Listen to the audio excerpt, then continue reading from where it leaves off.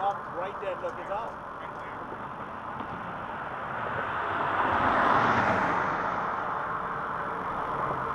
If this is going to be the first fish for the morning, it's going to be a really, really good one. Nice pompano.